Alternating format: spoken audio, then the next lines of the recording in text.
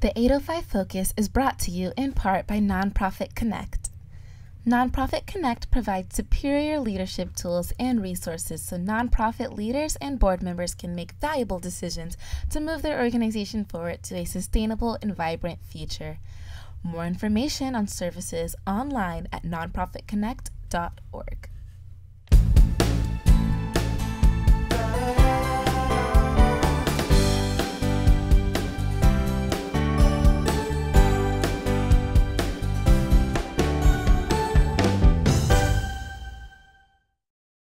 Welcome to 805 Focus. I'm Dr. Cynder Sinclair with Nonprofit Kinect, and we will be bringing you the latest on your favorite nonprofits. So get ready to be inspired. Our special guest today is Michael Kramer, and Michael is founder and CEO of HypeCats Video Production, and he has a great message for nonprofits. Welcome, Michael. Welcome, Cynder, and thank you for having me on your program. Oh, I'm so glad I love here. you. I'm so glad you're here. You have such important information for us, and I'm dying to hear it. And so, you have been working with nonprofits for so long, really, really. And uh, I've been so impressed with your work. And now you've founded HypeCats Video Production. So I'd love to hear all about that, and then I'm going to have some questions. Okay, well, good. Well, first of all, you know me as uh, the website guy. We Yes, have, we have yes. about 450 local website clients, and we service about 80 nonprofits locally. And so you're right. This is an opportunity for us to bring another another benefit to some of these nonprofits. And so we're talking today about hybrid events. And so the question then is, well, what is a hybrid event? Yes. And so a hybrid event is, uh, I guess they existed before COVID, but definitely after COVID.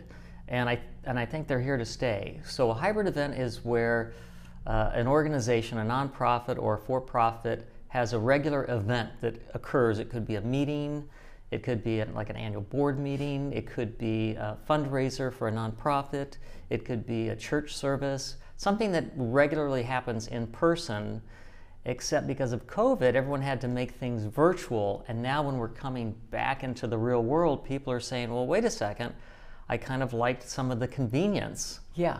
of that virtual. So, how can we, how can we still participate virtually if maybe we can't be there? Or we, we don't want to be there, we just want to participate virtually because maybe it's harder for us to get there. And so, what's happening, I'm going to take churches as an example. Uh-huh. Um, uh, I know that Unity of Santa Barbara, they've always had great services, but because of COVID, they went hybrid, and now their membership is growing beyond the walls of Santa Barbara. So they've Wow. got members of their of their congregation. I don't know if all over the country, but definitely outside of Santa Barbara in the state of California, and they produce a fabulous service. And so I, I'm so excited. And so as a result of that, I, I watched their service and then I went to a couple of the other services from different churches and they weren't so engaging. Oh. So there's a, there's a secret to making a good hybrid event and they've figured out that secret. So the possibilities are endless. Yes. I mean, really, think about that. Yeah. So how they, like, what's part of the secret? Well, part of the secret sauce is preparation. So you want to give your virtual friends that are coming in a really good experience. And the experience that they need is they need good audio. They need to be able to clearly hear. If you're in a large room, whether you're over there or over there, they need to be able to hear those people clearly. The old adage in video production is even if the video is blurry, as long as they can hear you, the guest will stay. Oh. If the video is terrible, if the, if the audio is terrible, Oh, they'll leave. people check out. People check out right away. So you have to have good audio, and then you have to have good camera equipment too. So I know that when people are just getting started in this area, they're like, well, let's just put our little webcam or the laptop camera o- over there, and then we'll shine it down into the room. and uh, it doesn't it doesn't work that well. So what's happening is the advent of cameras called PTZ cameras, and that stands for pan, tilt, and zoom. Oh. And so those cameras are remote. They don't take uh, a person that has to be behind them, you know, moving the camera around. They're all done through computer. So we can, when we do our virtual productions, we can have three of these PTZ cameras in a room, and one person can manage all the cameras and all the angles. And so you can actually zoom in on people when they're talking, zoom back if there's a, a, discussion in the room, and it makes the experience a lot better than a small webcam on a laptop sitting in the corner that has low resolution. Well, and you know, during the um, the time when we had when everyone had to have a virtual meeting or a Zoom meeting or whatever, I think I don't know. I would venture to say most organizations like if they had their board meeting or whatever kind of meeting they had on Zoom, mm-hmm. it was kind of frustrating because nobody really knew how to. I mean, in theory, they knew how to make it work, mm-hmm. but then there'd be people that couldn't quite figure out how to get in, and then everybody has to wait for them, and on and on. And lots of frustration. And so it sounds like you have figured it out so that it's smooth and enjoyable. Well, the other part of a good hybrid meeting is not just what's happening in the room, but what can the virtual audience bring to the room. So, one of the things that's kind of exploding is this idea of having a guest speaker, and the speaker isn't physically in the room. Oh. But let's say oh. that I'm a church and there is a, a, an authority somewhere on the other side of the country on a subject that we're discussing this week or yeah, this month yeah. in the church. We can bring them in virtually right? This is a lot less expensive than flying someone out, putting them up for several days and feeding them and doing all of that. You can, they can just virtually come in. And uh, we've done many events like this. In fact, um, just a couple months ago, we did an event for a company in Boston, and one of their guests was uh, Bing Gordon. And Bing Gordon uh, was on the board of Amazon. He's the one that created the word Prime. So when you oh. say Amazon Prime, that's Bing Gordon. So wow. he's been in two of our programs, our virtual programs, as a presenter. Right? It's wonderful that we can bring in all of this oh, talent yeah. to our local. So, so for them, they want to be able to see people in the room. Uh-huh. Right? If someone stands up and talks, they want to be able to zoom in on that person and see them and feel like they have this face to face conversation. For the people in the room, they need to be able to clearly hear Bing. So oftentimes we'll set up speakers. Could be just like a little sound bar, like uh-huh. you would uh-huh. have on a TV at home, uh-huh. or if it's a larger room, maybe amplifiers or something like that. But then we need to tech check Bing, which means that anyone that is presenting needs to have good lighting on themselves. They need to have a good camera. They need to have good audio because the worst thing to do is watch oh. someone that's in the dark or a bright light right. behind them and you can't really hear them that well. So, um, in the program that we just did for the University of Utah, we tech checked uh, about 30 people that were presenting so that when they presented, they looked what we call amazing. We want everyone to look and sound amazing. Yeah. Okay, so I'm trying to get my mind around this. So here you are in Santa Barbara. Yes. And let's say you have a client in Utah. Yes. Uh, so you can, of course, control all your camera and sound equipment and da da da here mm-hmm. in Santa Barbara. But do you have to send somebody of your team there to oh. Utah to make sure they they have their act together, or how? That's a good question. So what we do is we get the uh, specifications for the room, and we draw a map of the room and where all of the cameras will be, where the seating will be, where any tables will be, where microphones will be, and then we put together that entire room out here, and we test all the equipment. And once everything is working, we put them all in boxes and we ship them out. you send them there? We send them out. Oh my gosh. Yes. So they, uh, all they do is they pay for the shipping. And then when they get there, whoever their computer guy is, he uh-huh. opens up the box and we're on the phone with him. He goes, he looks at the instructions. Okay, I'm going to put this piece of equipment here and this piece over here, and I need to run this cable there. It takes us about three hours to set the room up, and then we're ready to go. That is amazing. Yeah. Okay, so I'll tell you um, a real fun one we okay, just okay. did. Do you know Dr. Laura, the talk yeah, show host? Yeah, yeah. So uh, she's one of our recent clients, and we did a virtual, her first virtual Zoom show. And she is amazing. I, I have to tell you, she she is a dynamo of a woman. And uh, she opened up registration on Zoom. Within 24 hours, she had a thousand people, Oh, and that was the limit. So she said, "No, up it. Let's let's let's let more people in." She says, "Let's cap it at 2,000." Within another 24 hours, she had 2,000 people signed up. it was crazy.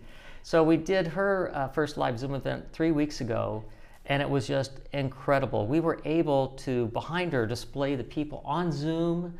And they were talking with her. Oh, wow. And at the end, they were dancing with her. so it was like it was really a true virtual event. She was there. They could they could communicate with her. She could communicate with them, and it was all with. Uh, I think virtual events are keeping costs down too because if she would have had to go into a 2,000 seat theater, then the cost and the Right. preparation would have been you know five ten times as much as putting on a virtual event.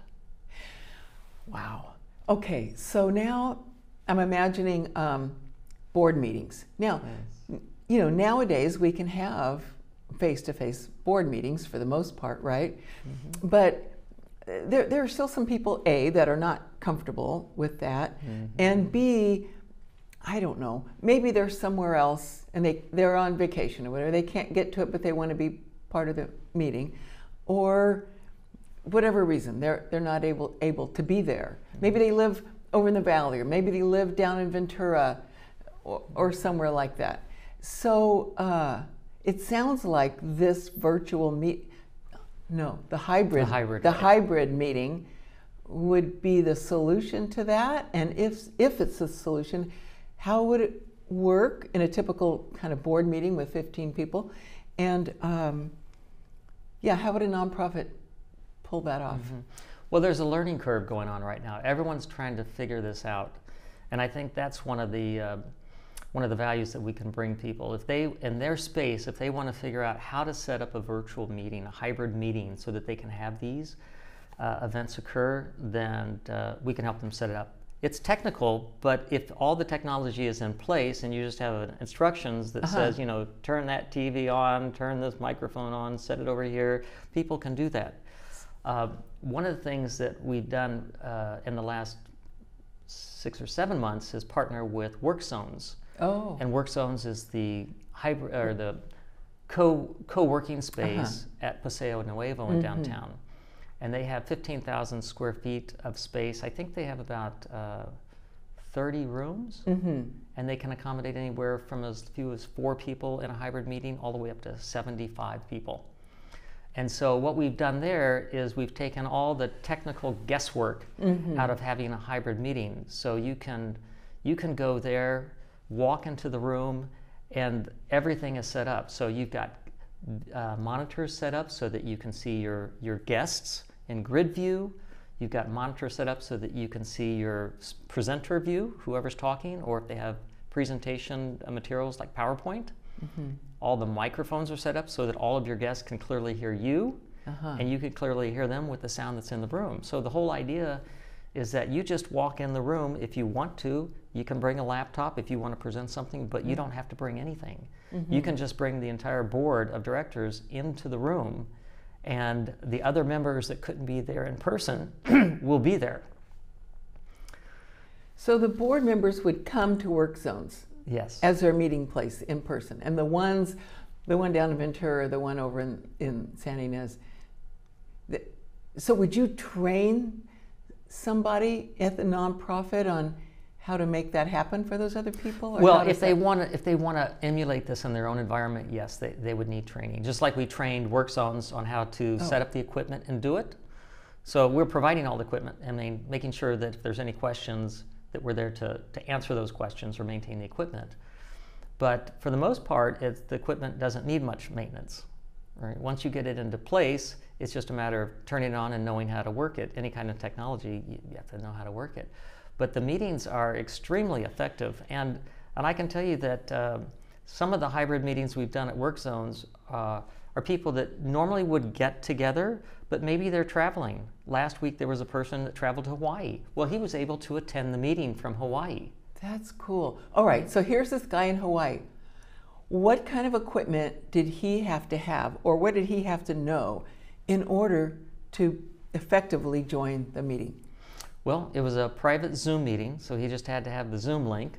Okay.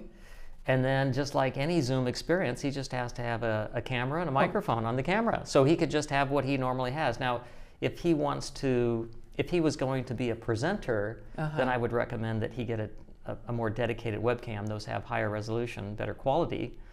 Uh, but he was just on, on his laptop, just Oh, open it up. cool. You want, want to make sure that the camera's at eye level so that you look like we're looking at each other Yeah. and not looking down at Uh-huh, anyone, uh-huh, yeah. right? Uh, so there's a little tips and tricks. We have a uh, we have a checkpoint of 30 uh, checks that you want to do with yourself if you're going to come in virtually to make sure that you look and sound amazing. Mm-hmm. And so we, we like to go over that with people, and if I'd be happy to share that with you or any of your guests. Yeah, yeah. Yes. Yeah, that's great. I think I, I think I might want to write a, an article in Noozhawk about that. People would love to have all those tips. Yeah, and like I said, th- th- this is we're just kind of at the baby steps. People are still trying to figure this out. So the more educational information that we can get out there, the better experience all of us are going to have with these Yeah. hybrid meetings. Well, that's exciting, and I've loved watching you jump in with both feet and figure it out really quickly. Man. Well, I, I when COVID first hit, you know, the, everyone was talking about what's your pivot, what's your pivot, Yeah, how yeah. are you as a company gonna Uh-huh. gonna do something different to to not wait for things to change, but to, to make a change yourself. yeah, And so we saw right away that everyone was needing to have a virtual experience, and Zoom was the platform. Yeah, And so we were working with the local chambers of commerce to put on daily educational series Ah. on how to use Zoom, how to get a camera working, how to get your microphone, how to mute yourself, how to share documents, all these things. But now that most people have kind of figured out how to do those things, now we're in kind of Zoom 2.0, Uh-huh. right? How do we make that virtual experience better? And the reason that we got into hybrid events is because we, we kind of pushed beyond what Zoom was be able to do, and we needed to go with better quality. Like the recordings of Zooms are kind of fuzzy, but people wanted to have hybrid events and be able to reuse the recording of these events yeah. to publish on their website, to publish on TV, to, to, to mm-hmm. send to people that couldn't attend. And the quality of Zoom recordings just isn't high enough. So that pushed us more into like TV production oh, software gotcha. and all these PTZ cameras, and I love it. I've lost a few hairs over it, but uh, well, you can't even tell. thank you. Oh gosh, that. All right. So, uh, all right. So, tell me. So, I've heard you say hybrid, virtual. There might be another term. So, uh, what's the difference exactly? Yeah, so there's a difference between a hybrid event and a virtual event. So I'll, I'll give you an example. So right now we're at TV Santa Barbara, Yes. and we're in their green screen room, and so Uh. there's this beautiful virtual stage behind us. But but to the rest of the guests out in TV land, we're just in a green room, right? and so anyone can do this. So we were contacted a couple weeks ago by a very dynamic woman that has a talk show, uh, a, a radio show in North Carolina, and she wanted to to come virtual. So we gave her an equipment list. Okay, go buy this big green cloth that hangs off these two poles, and it has to be long enough so that you can sit a chair on it so that we can see your feet underneath the green. And then we put her in this big stage that looks like as a maybe a 600 square foot room, but really she's she's in the basement of her house, right? And we zoom in from across the room, and there's this background noise coming on in this opening, and she says, "Welcome everyone to the program," right? And then off to the side behind her is a huge picture window, goes from the ceiling to the floor, and she says, "I'd like to welcome our first guest." And guess what? That guest pops in on the Oh screen my gosh. doesn't have to be there in person. And so she's going to be interviewing all of her guests this way, and she's so excited. So that's a virtual event where she's actually holding kind of a live event in her basement by Yeah. herself, Yeah. but bringing people into the production. And it'll be spectacular. I'll have to show you the, her after Yeah. her first show. She's supposed to shoot her first show in about two weeks. Oh, that's pretty darn exciting. Yes. So, Michael, um, for all the nonprofits watching and on a different learning curve, perhaps, what message might you have for them in terms of uh, hybrid meetings, hybrid board meetings, uh, any kind of a hybrid meeting? I, I like what um I like what Steve Jobs said in one of his uh, in one of his TED Talk style introductions of products, and I think it was when when the they came out with the wireless earbuds. You know, Apple always had the white, Yeah. right, and they were known for that. And then they came out with these little earbuds that had no wires. Yeah. and so someone asked him, said, well, these are going to fall out. People are going to lose them. And why have you done this? Everyone's really upset. Uh, and, and Steve said, when you know what the future is, you, you need to bring it to technology today. You need to start using it today. If you know that's where we're headed, then just make it happen today. And what I would say to, to the nonprofits is hybrid meetings are not going to go away. Hybrid meetings are going to be around. They are less expensive than flying people in, yeah, yeah. having people even travel mm-hmm. through traffic.